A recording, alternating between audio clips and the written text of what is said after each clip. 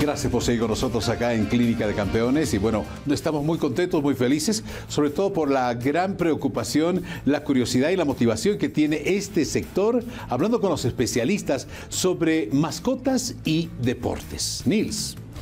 Bueno, yo quería añadir una pregunta a lo que estábamos hablando hace un rato. ¿Qué tal esto de los perritos? ¿Cuándo tienen que hacer deporte? ¿Antes o después de comer? Porque he tenido unas malas experiencias en ese sentido y creo que es muy importante recomendar esto. No, definitivamente antes. Antes, por favor, ya.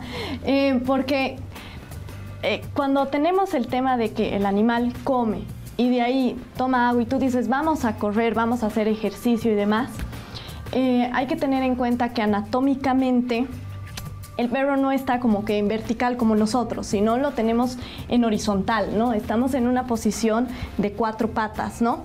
Y un problema que tenemos grande por hacer ejercicio después de comer es una de las peores emergencias que nos puede llegar en la veterinaria, que es la dilatación volvulogástrica. ¿Qué quiere decir esto? El estómago se da la vuelta. Y al darse la vuelta el estómago, ¿qué pasa? Tenemos los vasos más importantes aquí, la aorta, que es la que digamos más conocemos. Entonces, ese estómago que se da la vuelta se empieza a llenar de gas me va a comprimir esta aorta, que es la que nos va a dar toda la circulación sanguínea eh, de manera rápida a todo el cuerpo y nos va a generar un shock, un shock hipovolémico que nos puede conducir a la muerte en horas. ¿Ya? Entonces, por favor, no, den, eh, no vayan a hacer ejercicio exactamente después de comer. Siempre es bueno darse un descanso.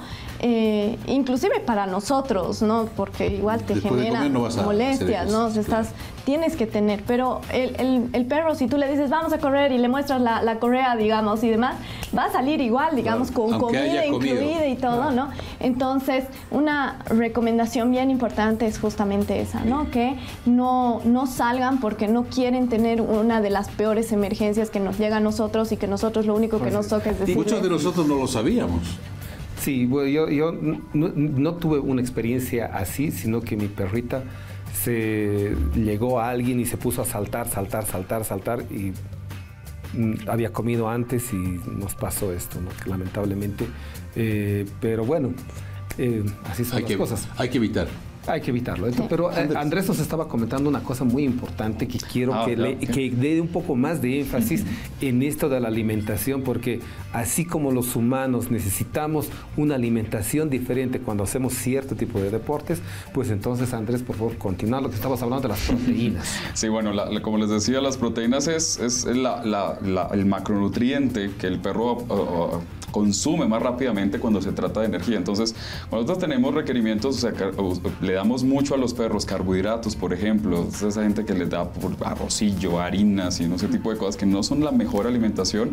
Obviamente vamos a tener un perro con menos energía pero que le estamos dando, le estamos pidiendo que, que dé y a veces no dan mucho y a veces tenemos el caso contrario. Entonces esos perros que alimentan con sopa de pollo todos los días, ¿no? Estos que comen sopita de pollo todos los días, esos perros andan con Red Bull todo el día y la gente a veces viene, pero ¿por qué mi perro está tan ansioso? Y yo, a ver, decime la dieta, ¿no? Yo le doy pollito todos los días. Pues claro, el perro anda loco todos los días, es por el nivel de energía que tiene y le estamos dando, como darle azúcar a un niño, por ejemplo. Entonces es importante tener dietas equilibradas dependiendo lo que va a hacer el perro. Por ejemplo, yo diseño dietas generalmente dependiendo la actividad física que tiene el perro. Es muy diferente un perro muy sedentario a un perro que tiene niveles de energía bastante altos.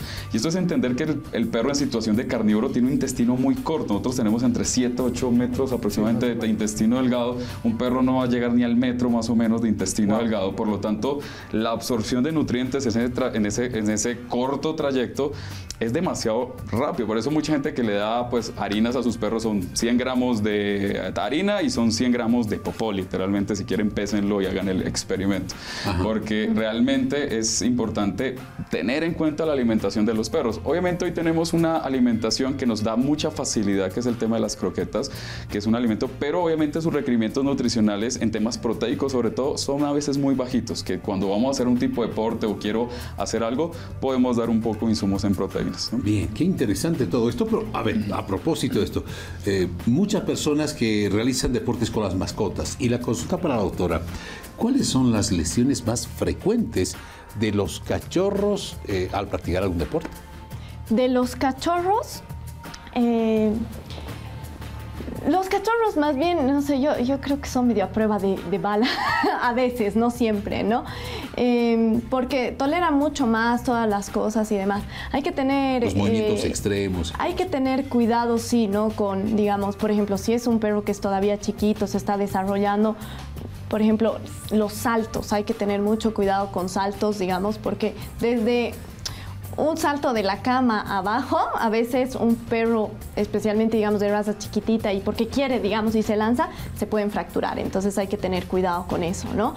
En perros ya más grandes que ya se han desarrollado, hay que tener en cuenta el tema de, em, muchas veces tenemos eh, lo que les decía, el tema del ligamento cruzado anterior que se rompen, igual que los futbolistas. Pueden tener también el tema de los meñiscos, así que igual andan en esas, ¿no?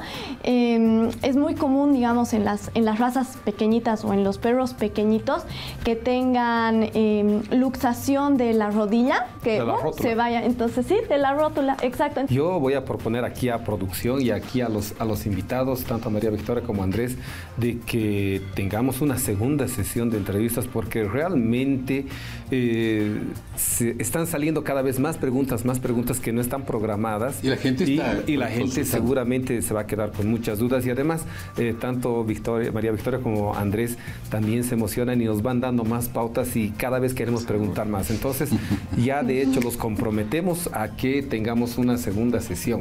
Pero voy a hacer una pregunta ahora con redacción. Andrés, eh, en esto de los deportes, eh, ¿hay un límite que no debemos sobrepasar con los, con los cachorros, con los, con los perritos? ¿Cómo puedo reconocer que he exagerado?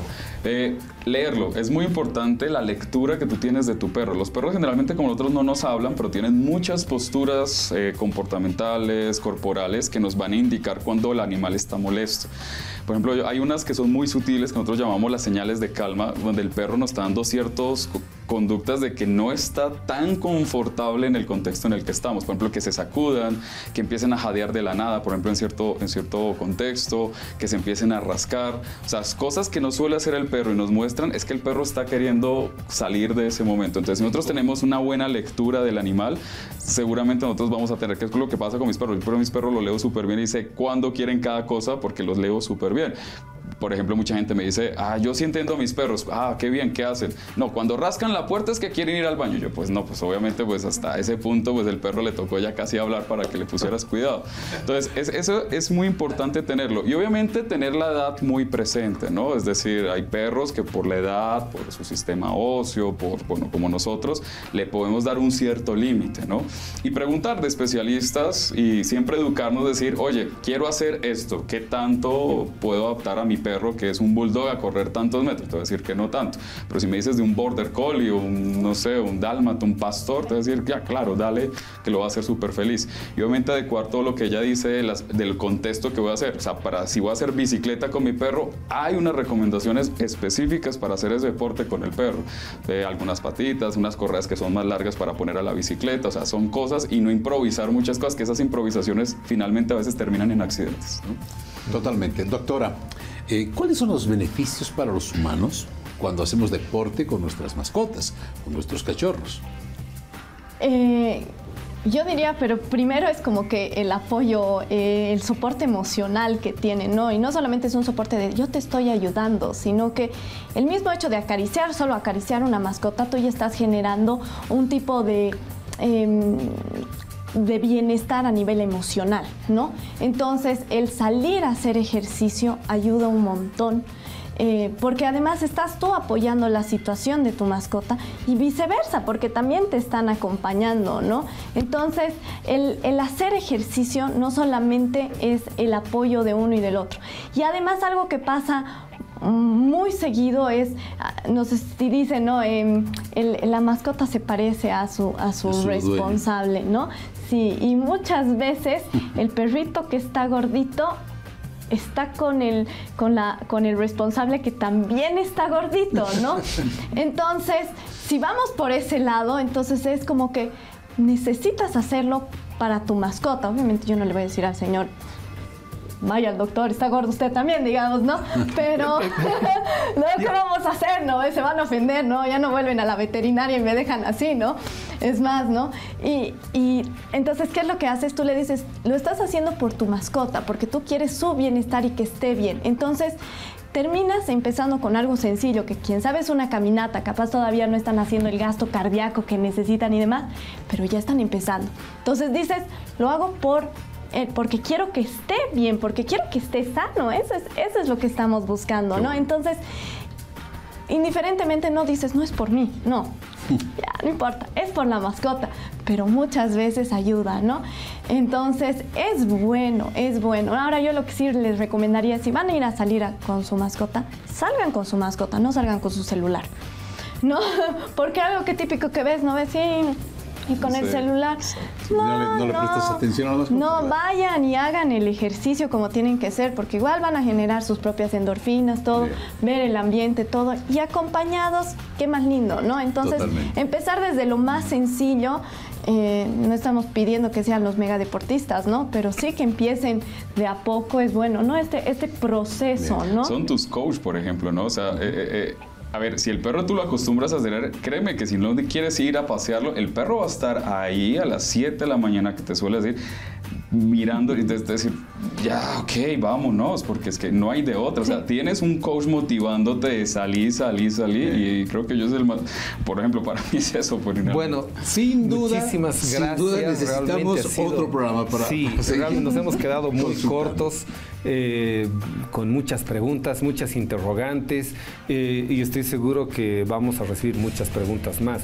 Yo, como les decía, de, hecho a, María Victoria y Andrés les voy a, los voy a comprometer para un segundo programa. Eh, agradecerles por toda su, su, experiencia y comunicación en cómo tenemos que nosotros educar a nuestros perritos en la parte deportiva. Muchas gracias María Victoria, muchas gracias Andrés. a ustedes por la invitación. Sí, muchas gracias. Nos vamos a una pausa. Acompáñanos y enseguida tenemos más aquí en Clínica de Campeones.